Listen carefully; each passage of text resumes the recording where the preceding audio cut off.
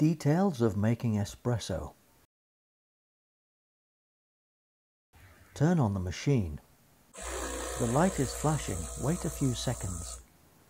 The light is on. Machine is ready. Set for two cups. Grind the coffee beans.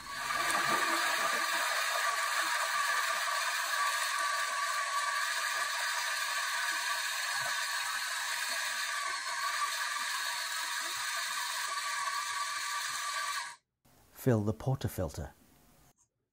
Press the coffee grounds flat and level. Insert the portafilter and fully turn it. The shot glass is ready. Start making espresso. Start the timer.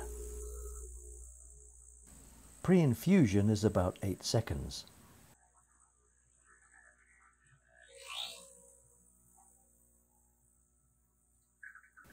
The espresso is brewing.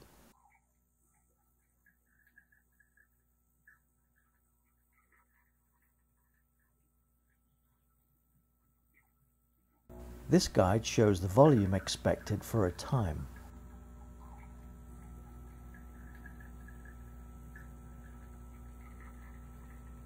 About 40 seconds.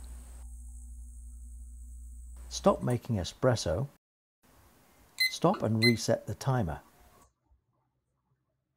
The espresso is ready. Notice the crema and carbon dioxide bubbles. Pour the espresso.